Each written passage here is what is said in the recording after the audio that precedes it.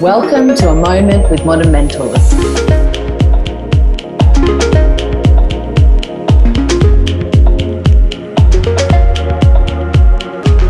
Hi, Erika. Great to have you on the podcast. Um, it's a moment with modern mentors, and this season, season two, is called a call for change. And we're talking to you from London. So thanks so much for getting up early. And I know you're in lockdown over there. Thank you so much for having me. It's a real pleasure to, to, to be here. Yeah, so I am Erika and I am the founder of Dappad. Uh, Dappad is effortless style curated for men, a subscription service that uh, makes men dress well throughout the year with no effort. So I can't wait to hear all about Dappad. Um, tell us how you got started with it because it's, you know, you've launched it a few years ago and it's really been your baby, hasn't it? Yes, it has. So um, I launched it, or the idea came really sort of was inspired by my husband and our sort of failed shopping trips. Um, he's, he's a, he was a well-to-do guy, uh, but no time and absolutely zero interest in um, in sort of like you know picking the right clothes. You know, like most men, they want to look good. He wanted to do it as well, but you could see when he was sort of handed something, a piece of nice clothing, he appreciated, it, but it was just not on. And uh, we tried shopping trips, and it mostly ended up having an argument and um, whatever, searching for the closest bar. and then I thought, well, I was working in finance at that time, and I was just looking around me, and he were he were all these well-to-do men, but sort of with often no interest, no time, just sort of a bit like lost in how to just look good effortless, effortlessly. And what was your kind of background that brought you into the fashion world? Had you had a, a background in fashion? Not at all. I mean, I, um, as I said, like, I mean, I have an economics degree and I st- uh, worked in finance for eight years when I came to London. But fashion and I would say design in general has always been just a passion of mine. And when I look back, a, a, similar thread is for friends to always being asked me to sort of help them shopping. And I think it's sort of like almost just a natural talent in a way that like, you know, I can just see what fits and then I plan my wardrobe. I've always planned my own wardrobe throughout the years. I thought it's sort of a natural extension. And, you know, I can just take my skill and help, help men or help people sort of. Help your husband first and foremost. exactly. So is he dressing better these days? Oh, much better. and so, when you first launched Dappad, did you have a very simple idea of um, being able to kind of provide men with a more of a solution, or did you kind of have a bigger ambition? Yeah, so again, as you say, like I think most business start sort of like I think I knew sort of in my heart or like in my gut what I wanted it to be. But um, I think again, you get maybe a bit lost as well. You look at what other competitors are doing, and you try to sort of replicate that. So in first, it was just sort of this solution of shopping, but there wasn't sort of even though we always had the sort of beautiful Scandinavian clothes, the minimalist style, we sort of we were put sort of in the same basket as these other guys. But then as I sort of evolved, I realized, well, it's more than just solving the process. It's also about the quality of clothes it's also about um, the actual, like, I'm not sending random clothes, I'm sending it to you, you know, as a perfect outfit for your type of life. And then as we then got to know customers and the people who then subscribe for three boxes a year, we, we said, well, this is perfect. Now we know what you have.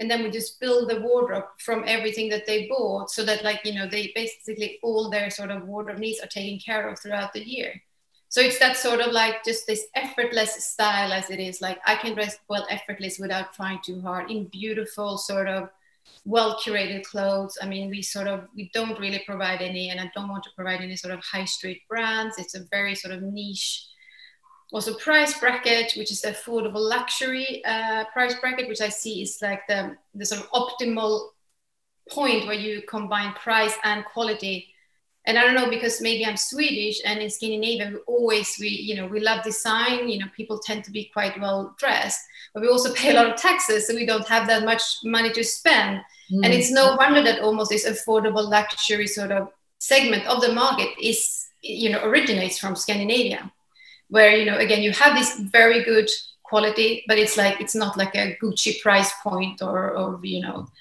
um, several, you know, 500 pounds for a shirt. Instead, it's like 150 pounds for a shirt. Or, Um, so. and and I mean, I think one of the things that um, you know I, I love about Dappad is the fact that you're very much um, thinking about the environment and about um, you know sustainability within the curation so tell us a little bit more about you know where your journey is there with the with the business and and personally as well i guess yeah so i am i'm in I mean, in my personal life, I am a little bit of an activist and I'm a big environmentalist. And of course, as we know, fast fashion and fashion has is a big sort of offender, and we need to change the way fashion works. And again, I would say there's two sort of parts to the sustainability um, uh, you know, sort of ethos for that. But so one is, of course, that this Scandinavian sort of timeless fashion, it doesn't expire. It's like clothes without an expiry date. So if I buy a beautiful white shirt and a navy chino or something, those will look as good in three years' time. You know, like they, they're not gonna like I'm not gonna have to re- replenish all the time. And okay, this season is this, or this season is that. You know, we can't always have new every every every six months or every three months or whatever it is now. So that is one part. And uh, of course, it's the quality. The quality is super good. Again, like the shirts, you can wash them over and over again. They they work out. And then uh, it is also because we have the skill set of both of that, but of how we combine the things. So the clothes sort of transcend from one event to another. Like you, you know, if you're smart, if you have smart casual dress code, for example, at work, well that will look as well when you go to the you know to the pub maybe afterwards and you just maybe you lose the jacket or something and then again for for an event in the in the weekend there are small changes maybe you just change a shirt with the chino and it sort of dresses it up so you just have to buy a bit less i think so that's but then also like now we have of course a core core brands but then also we're now really looking to just add brands that have a sustainability ethos per se like that's the outspoken thing so for example we have uh, one brand that just makes all their outerwear from recycled plastic from the ocean. Uh, we have uh, one of the Nordic sort of eco brands to get is called Svanen or the Swan. It's very, very hard to get. And one of our brands made the first uh, Svanen labeled uh, chino and jean. It's again, it fills all these criteria of how how the, the product can be recycled, what is recyclable, um, it's organic products, um, you know, all these sort of things. So that's what we're adding a lot of course, as well, animal agriculture, as we know, is one of the biggest um, culprits for climate change. And what we're trying to do as well is just sort of phase out the use in, of animals in in um, in the clothes that we use. So, for example, we, we, we've never had feathers or fur or exotic leathers, but what we also now try to do is we phased out animal leathers and we're looking for these amazing companies that use this new technology, which is called biofabrication where they use plants. So apples is very, for example, common. You can make mm. amazing leather from apple skin. You know, it's the future of leather. Like it's going to sort of make the animal leather redundant. So those are the things that we um, we we we work for and and um, you know look for. It's a big big big passion. and it may i mean it really changes the fashion business entirely doesn't it because it, it, it, makes fashion so much more deep i mean fashion fast fashion is just you know, it is the ultimate consumption kind of mistake really for our environment and planet. But the fact that you can actually change the way that fashion behaves as across the board and not only people and how they behave, but how an industry behaves, it's um, you know, something to be amazingly proud of. Well done. Um and I, I think it, it, it is coming and it's like again, like I see again, like in Sweden, you have, I think you have two quite large brands as well. And this is all the thing that they do. They just curate also you create the basic pieces you know you create a, a like an wardrobe without expiry date and and you know like the, i was reading somewhere that fashion means change but you know i think we need to change that in a way like you know fashion we can't have yeah. change and change yeah change change is what everyone has been kind of you know mm. moving on and having to kind of keep up with it whereas now it's almost like fashion is classic pieces yes. that can be you know sensible and worn well and and in a number of ways. And i think you see on places like net-a-porter you know them really talking about a piece and how many outfits it can be worn with. Now you can really see the difference in the way that fashion is starting to sell their product and it's all about quality. Um, and so, what does this mean for a business like yours? You've started it from scratch. It's a it's an online business. You're servicing to the UK and also across Europe at the moment. Mm. talk us through how you've launched this online business how does that come about for someone that isn't in fashion and you know you done you've done an economics degree fantastic but you know you're not a, a tech person are you you make many mistakes yeah so i mean i made so many mistakes in the beginning and um, uh, you know you sort of just sort of like I would say ploddle through. You sort of like you you obviously like you know of course I, I, wrote a business plan. I had a, I had an idea. And then I I, I, uh, I got redundancy from my um, my bank and I just basically took the money and um, you know you know started this. I mean I think we're on our fourth site now um, which is now we're very happy with but it's just been a big learning curve all through and um, you know, I think one of my main mistakes was just not finding a partner from the start, um, like that has sort of, you know, complementary skill sets to, to me. That would have been much easier. I think that's for anybody who starts a business, try and find a partner that sort of complements you. Mm. Uh, but yeah, anyway, I just, you know, the first site was up. I bought a bit of clothes. I contacted brands. Brand was actually quite, you know, forthcoming, you know, bought a bit of stock, just tried. Me my, my husband's work colleagues were one of my few, first few customers and it was just like i was just making the box in my in my what is now my daughter's bedroom. You know like it's like but somehow i don't know maybe the universe conspires sometimes and you meet certain people on the right time and then they propel you forward and things happen. And i had my old boss from from the bank also like invested in in the business. Um, so we had capital and yeah and we from the start we got very good reviews like um, you know we you know we were just like sort of six months in and we were in gq and we were in the times and people were just like because i think one of the skills that i do have is that i I do know the clothes very well and I'm very good at putting the outfits together. I think that sort of like just lifted the business and people thought, wow, this is looks so professional. This looks so was we were like two girls there in a bedroom. yeah, well, your style is is amazing. And you know, you just oh. have to look on the website to see the photography and the styling and the clothes that you're producing and presenting look so incredible such high quality and just and a nuance a kind of sense of humor that you know you really bring across in the brand talk us a little bit through the brand itself dappad and how you came up with the brand and and what that sense of humor is for you yeah i think like uh, as i say like um like again i think fashion sometimes again takes he, itself too seriously when you see everybody sitting on the catwalks they look ooh they look really fancy and they have the sunglasses on and like you go like ooh. And i think that also puts men off a bit. Mm. i think it puts them off it feels daunting and it feels a bit like i'm trying too hard. And um, and I think that's that's what we wanted to bring this sort of humor into to it, so that men sort of it sort of de-dramatizes it, and they just realize that like you know what, I, I can look good without trying too hard, and I'm just going to enjoy it because actually looking good, most people do enjoy that. That's sort of how the humor is like, and you know, like it's like I don't take myself too seriously, um, you know, and this is this should be fun, you know. It's only it's clothes. Yeah. and how many um how many years into the business are you now? Whereabouts are you in the business cycle? Would four four years into the business. Um, but again, it's like it's it's been uh, it's been sort of a roller coaster, you know, coming here as well in my personal life. So whilst it's it's been going for four years, I think um, you know, because of the things that happened in my personal life, it was sort of like it was it was going, but I wasn't like putting all my effort into it. was now, of course, with my new partners you know a new site it's like now is the time for us to sort of um, to grow and to expand. And i think it's it's it's the right timing as well when you look at what's happening in the world. So yeah, I mean, you you kind of hit on a point that we wanted to uh, just talk about today, and I and I you know I've checked with you prior to this interview, but you know, tell us a little bit about what what's gone on in your personal life to make such a you know impact on the business, and I guess it has in a way changed the way you've approached the business now, hasn't it? Yes, it has. So yeah, when so I started the business when I was then pregnant with with my with my daughter, and um, um, obviously that's uh, anybody who's had a first child know it's actually quite challenging.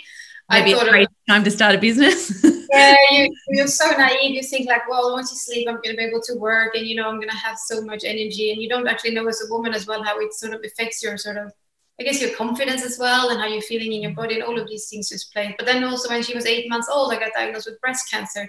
So that was one and a half year of sort of, of quite like harsh treatments, you know, with chemotherapy or radio, radiotherapy surgery and some hormone treatments afterwards. So it was just so, it was just so overwhelming. And like, um, I felt physically very ill for, for that period of time, but also like actually coming through it, it took me years to just sort of get back my confidence, get back sort of my mojo. And all this time I was like, because when I was, when I was, I had my first fundraise just when I sort of like, you know, um, was sort of mid chemo and I don't understand how I did it. Like, you know, I was sitting there like in this meeting and it's like my, my gums were bleeding even because of this chemotherapy. And I was just like, but after that, I just had to like, I said to my husband, like, I see I said, nothing sort of, I cannot take like more sort of drama in my life. And then I just said like, okay, I'm just going to have to find a level where the business sort of pays for itself, you know, like where I can just cut costs and I still have the revenues that come in from my existing customers and just try and like make it survive like that and that's what I did. So like having gone from like, okay, let's just grow, let's fundraise, let's do this. Like, you know, I just had to like put the brake on and scale back and just take it slow. Now we are we are in such a good place. Again, if we're now we're looking to raise some funds now, and we have made I made mistakes, but I made them on a very small scale, so I haven't like mm. wasted people's money. And mm-hmm. also throughout this time, I, I worked on myself. I worked on the business. I've done business courses, and like sort of I think we found our true voice throughout this time. So now, like when we're, if we then, you know, are successful or when we are successful in raising these funds, you know, it's so much easier than to just like, you know, to actually use the, the funds in the in the right way. Yeah, and I think that's a really interesting point because you know you've you've started. It's very much been an organic business, but you have now got enough experience that you know the. Questions that are going to get thrown at you. You know the the way the landscape is. You've been through that um, firsthand once already, and so now going out and you, you say you're you're raising money um, to find investors. You can really talk with confidence around what hurdles might be for any investor or potential investor. So what tell us a little bit about your business kind of approach. And um, firstly, I want to say thank you for sharing that personal story because I, I know it already. But um, you know, obviously, that's a very poignant part in your life, and you know, thank goodness you've recovered and come through it. And look at you know, things are booming in in the business world. Tell us a little bit about your business background and how you know you've said you've done a little bit of study throughout the the period as well. What kind of approach are you taking to business? in terms of you know holistically but also for dappad so i think like um, um, i am a big fan of seth godin and i've done a few of his um, of his sort of courses and i read his books and i also did like i like this entrepreneur called marie forleo um, that i follow mm. and i did her courses and i think um, they all say don't try to be something for everybody just make something that's really really great for this one sort of person that you have in mind. Seth Godin, like he wrote this very famous book, which is called The Purple Cow, um, which sort of became like iconic. And that's just what he says, because he says, if you try to be something for everybody, you become nobody or you become bland. And then also you become, then also you need enormous amounts of money because nobody's going to sort of notice you. But like find the smallest viable market, as it says, and then you work from there and that's how you then make your mark and of course it doesn't mean you have to stay there you can always expand then but that's like you sort of your dna is in there and that's how you go from there so i think that's also what i've learned with that but rather in the beginning i think we tried to be maybe something for everybody and it didn't work. And now it's just okay I, what can i leverage? What i can leverage my scandinavian sort of heritage. I can leverage my sort of sense of style and being swedish. And i think that's what we have to put into the dna of that but rather than trying to be yeah yeah. so, it's um yeah you could really feel a personality with dappad and i think that's really you know very much coming across in the brand but also you know the the personality of the business and the way that you approach it from a personal perspective as well. Um I guess one of the big parts of your life, which you kind of touched on, but not quite, is that you're a vegan. And I mean, is this affecting your, um, you know, approach to business? And obviously, a fashion business. We've we talked about sustainability, but you know, veganism is obviously quite an extreme end of the scale in terms of, um, you know, no meat, no dairy. Um, talk us through how that affects the fashion world because the fashion world's not there yet in terms of. being vegan. it's not for sure. Um, but again, it is changing, and I think it's changing also quite fast. Yes, so I um, so the, the, cancer sort of propelled me to being vegan, and was I was vegan primarily for health reasons to start with. It evolved to become a, sort of a thing that is bigger than me, and um, ultimately, like you know, the way we treat non-human animals. Um, um you know, is is something that that's just very cruel, very wrong that we're doing as humans. And and again, the the, the part of animal agriculture in in climate change is like the number one thing a human one person can do in his or her life is to, to change a plant-based diet to alleviate um, his or her like carbon footprint or, or you know that damage to to the planet so so that's sort of yeah and that, that is obviously part of my um of that but now i can't sort of with good conscience sell leather shoes anymore, or, or I can sell leather shoes, leather that's made from plants. But you know, before I didn't use to blink when it says calf leather, and I sort of think, this is actually a calf. It's a baby cow. I'm like, no, I, I no, this is yeah. not this is not on anymore. Yeah. But then I'm, I'm looking for alternatives, and it's quite again, it's interesting to see. Whilst the fashion industry doesn't maybe primarily approach it from an ethical point of view, the, um, the sustainability uh, aspect of it is, of course, uh, very, uh, very strong. And now, when I go to, to fashion showrooms and the likes, there are so many now um, shoe brands and other things that are using just plant leather, but from a sustainability point of view. I mean, people talk a lot about polyester and these things, but actually, like when you look at the data, it is um, it is animal products that's the worst for the environment. So, so leather, for example. Um, Does that mean that you've cut leather and all animal products entirely from your collection? Yes. Yes. Okay, so it is a vegan brand. it's not vegan we're using wool. You, wool. We're still using wool. Okay, right. Yeah. So, so, so no, wool, wool, no, but no other products. And I mean, again, I think it's like if you see, like for example, fur. I mean, there's like if you if you sell fur like you're like a dinosaur like mm-hmm. there's all all brands like big also big fashion houses they not cut they cut fur Salisbury's here in London hasn't sold fur in like I don't know how many how many years and and again it's all about this sort of more planet friendly um, alternatives and like it's also interesting one of my Danish brands was not a vegan brand but I had a, I viewed the collection for autumn winter and they're just using again they're just using recycled wool you know, which is amazing. You're just taking the wool that's being that's already there and then just making amazing new new jumpers. So vegan, so wool is a vegan and off the vegan list, is it? Why is that? Because if you're if you're a vegan, you, you, you don't use wool. You can't wear wool. No, you can't wear wool because again, it's like it's um, it's uh, well, it, it comes from an animal, but okay. but it, it's quite hard. It's that that is a tricky one in the yeah. fashion world. Stella McCartney, who's um, um, obviously very ethical and you know she uses her own wool. She actually has her own sheep which is quite extraordinary. So she makes sure that the sheep are well treated. Uh, so that's part of her like she actually owns the farm. Was it normally like a fashion brand obviously sourced the wool mm-hmm. from from a farm. Ah okay. So she's made she sold it. Like so there are ways there are ways like around it and uh, yeah and that was Stella McCartney, was it? She's been uh, in the in this space for probably the beginning, ten years now, right? Yeah, yeah. even even further, I think. Yeah, like 2001 yeah. or something. Yeah. Yeah. So, with this new part of your life being that you are, uh, you know, and a vegan, and and you've have you infiltrated your family with this this yeah, they're all vegan. Everyone's vegan. And how long have you been vegan for? And, and what does it mean uh, to look like for you? I've been vegan now, is it four years, five years, something like that, yeah.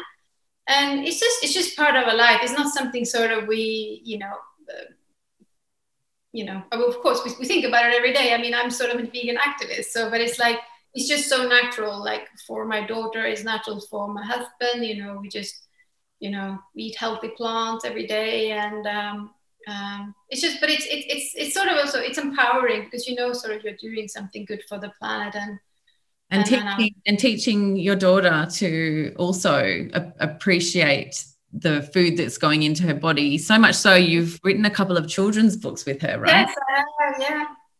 Tell us about I, that. um, yeah, so I um, when we went vegan, then after a while, of course, I tried to speak to my daughter about it, um, and like we bought a few books, but it was sort of like I was like, oh, I'm not sure, you know, like you know, when you look at children, they really love uh, a character like Elsa from Frozen. so you know, why, why don't we create a vegan Elsa or like um, so we created Levy, who's like this sort of protagonist in in the two books. Um, we actually don't mention the word vegan. We just says Levy is a girl. She eats plants. She doesn't eat animals. You know, she loves uh, she loves the planet. She loves the animals, and we we talk about how plants make her big and strong, and we try and just connect the children with the food on their plate because they think that like you know you buy ham in a shop you have the children has no concept that this was actually a, a living pig that Yeah. had a mummy and daddy and um yeah so that's like it's just like speaking truthfully to children about food choices so maybe if they can make choices that are well informed we can have a change earlier in in this world I don't know about in London, but certainly in Australia, vegan options for adults is pretty limited, and it's I, I don't even know if it's actually available in a in a child format. But talk us through how that works in terms of you know, Vivi goes to school, so you know she's around a lot of kids, and and how does how does it kind of integrate into her world as a young child? Again, it's sort of like she, she's just used to it because she's always been that like or she was 18 months when she was sort of like when we all went vegan. So she she just knows that like you know oh yeah my friends eat animals but i don't. But she's sort of starting to find her own voice and is a bit of an activist. We watched the mm-hmm. greta movie i am greta. You know greta thunberg and she's like oh yeah okay i'm gonna start saying you know because sometimes a bit like she's a bit and i said like of course you should never comment or or like be derogatory but you can always but that doesn't stop you from sort of standing up for what you believe in like and so i think she's sort of coming to, to terms with that and luckily she has her best friend who's vegan too they're like the only vegans in the school and but they're in a group so Yeah. i think it was They found each other. and, but it's just, it's just part of part of the lives and she knows what she can and not have but we're also super open-minded parents so you're a wife, you're a mum, and you're a business woman, an entrepreneur. How do you kind of manage all of this life together in lockdown? Yeah. I it's uh, it's the whatever the question everybody asks themselves every day right I don't know. I mean, especially in lockdown and homeschooling, it's it's not easy. That's for sure. Homeschooling on, on top of that as well. Yeah, nice. but I don't know. Like you somehow you somehow make it work, and I think you need to set boundaries. You set priorities. I know that like my my daughter is super important to me, and um, course my family as well. So was you know of course growing the businesses too and but my health is also important and exercising and friends and in a way like you just i think beforehand before cancer i my main focus always was just work and producing and achieving i was quite highly strung um, and whilst i still want to you know sort of make a difference and, and work i also know that i need rest um, to sort of to to be at my best. I also know that I don't want to miss out on my my, my daughter's you know life and when she's growing up and you know just have a healthy relationship, healthy body, healthy mind. You know, I just try and be very holistic. You know. Yeah. And I mean, do you find that things kind of you a little bit more um, kind of, I guess, uh, go with the flow about how things work out now? Do you feel like you've changed before and after both the cancer and, and, and having a business of your own where you just have you're not maybe not as in control as you were before? No and i think if you're super spot on there and i think that's again like we, we think we are in control um, but then things happen in your life and also having a child and you just realize you have no control of, uh, of them. So i think yeah at the moment i'm a big fan of eckhart tolle. I don't know if you know you know the power of now and a new world and you know the only thing i try to be is just in the present and as he says like if whatever you if you want a good future then do the best of the of now you know? Yeah. and i used to obsess about how things were going to pan out. And of course i'm not immune like sometimes i just go like especially now with the new site i mean you know like oh is it going to work? How is it going to be? Blah. like in the end i'm like okay well i can do what i can now. And then you know the outcome will you know you sort of will be what will be yeah, I've, I've definitely found um, that things generally happen in the way that they're meant to, regardless of whether you're, you know, you're trying to drive it in one direction or not, the outcome is kind of already. You know, you know, like I mean, you do some you do some yoga, right? You know, I'm, Yeah. I'm a big the Bhagavad Gita. You always says like you know, don't attach the fruit to your work. yeah. Because you care about the fruit that your work is doing, and that's what sort of where I keep thinking. Like I just do whatever I can the best now, and then yeah.